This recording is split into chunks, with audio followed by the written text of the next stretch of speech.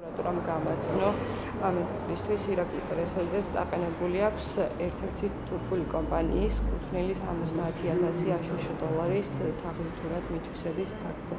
კერძოდ აღნიშნული თურქული კომპანია მონაწილეობდა საქართველოსი მუნიციპალური განვითარების ფონდის მიერ მოდერნიზებულ ტენდერში თბილისი წითელი ხიდის ავტომობილების სამუშაოების შესრულებასთან დაკავშირებით. ირაკლი თვითონ ედავებოდა მე. ირაკლი ედავებოდა თქო, და ხელშეკრულება დაარღვია თურქულმა კომპანიამ და აქეთ აქეთ ქონდა ირაკლის მათთან დავა.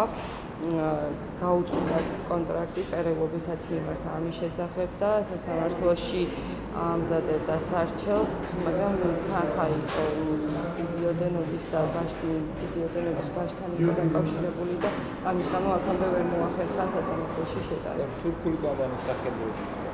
თურქული კომპანია არის გენჩ ინშაათი. რაც შეეხება აი ამ ბრალის და დოკუმენტაციის გადმოცემის შემდეგ, თუ გაქვთ ისევ კითხვები და თუ რჩება თქვენ პოზიცია უცვლელი? რა თქმა უნდა, კითხვები გვაქვს, ვინაიდან ჩემთვის ჯერჯერობით უცნობია საქმეში არსებული მტკიცებულებები.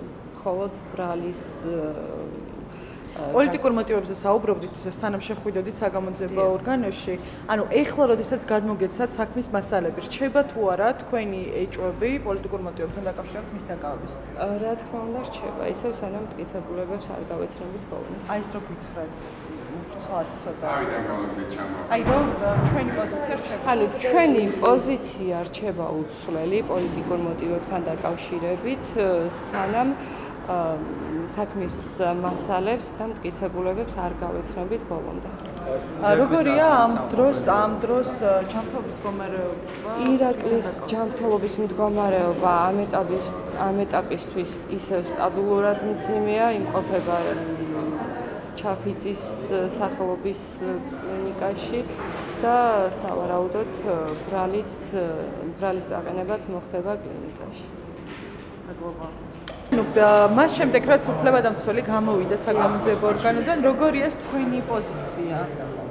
მე რაღაც წარმოდგენები მქონდა რომ ირაკლის ქონდა ამ თურქულ კომპანიასთან რაღაც კონტრაქტი გაფორმებული ირაკლის აქვს ძალიან ბევრი კონტრაქტი არაერთ კომპანიასთან გაფორმებული ძალიან ბევრი კომპანიას წარმოადგენს ბევრი ადამიანის და კომპანიის იურისტია მე როგორც ვიცოდი ირაკლი აქეთ გაუწყვეტა ამ კომპანიას კონტრაქტი იმიტომ რომ მათ რაღაც პირობები დაარღვიეს და შესაბამისად ის თანხა რაც აქ ითქვა ეს თანხა ირაკლის არაუღია ეს ჩარიცხები არ განხორციელებულა.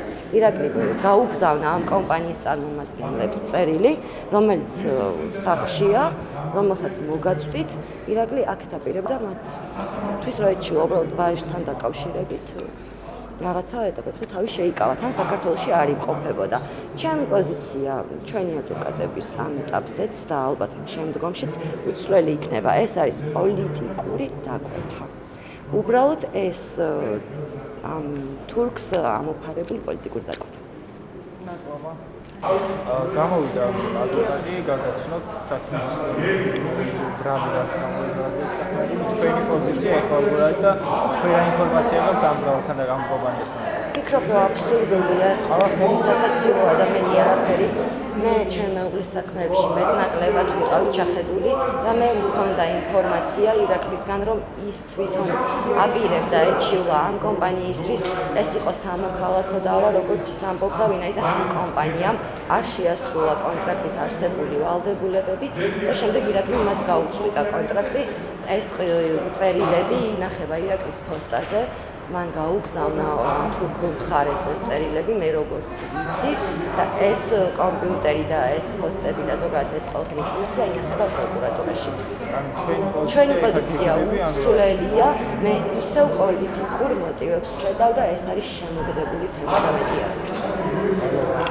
მთავარმა პროკურატურამ წაუყენა ბრალი დღეს ირაკლი კერესელიძეს კერძოდ საქართველოს სისხლის სამართლის კოდექსის 180 მუხლის მესამე ნაწილით რაც გულისხმობს რომ მას ბრალიედება სხვისი ფულადი თანხის განსაკუთრებით დიდი ოდენობით მოტყუებით მითვისების ფაქტზე ირაკლი კერესელიძე თავს არცნობს დამნაშავედ, არ ეთანხმება პროკურატურის მიერ წარდგენილ ბრალდებას და აპირებს რომ ბოლომდე იბრძოლოს და დაამტკიცოს თავისი სიმართლე.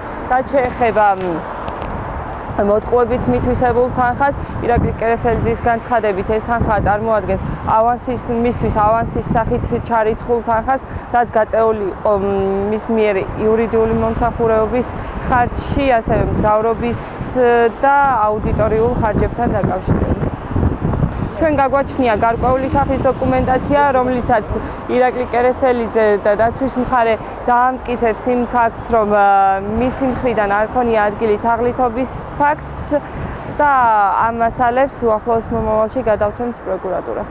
დღეს სავარაუდოდ საღამოს საათებში იქნება განიხილება აღკვეთი ღონისძიების საკითხი.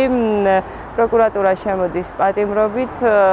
ჩვენი პოზიცია იქნება ასეთი, რომ შეწყდეს სისხლის სამართლებრივი დევნა ირაკლი კერესელიძის მიმართ და შეწყდეს სისხლის სამართლებრივი დევნა.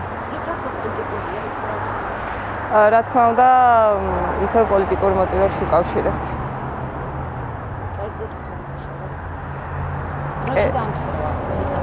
კერძოდ ის ფაქტი, რომ ირაკლი კერესელიძე რამოდენიმე დღის წინ გახდა ვლადიმერ ხომერის ადვოკატი, დააპირებდა სარჩელის შეტანას სასამართლოში და ამის გამო მოხდა მისი სასტრაფო წესით დაკავება.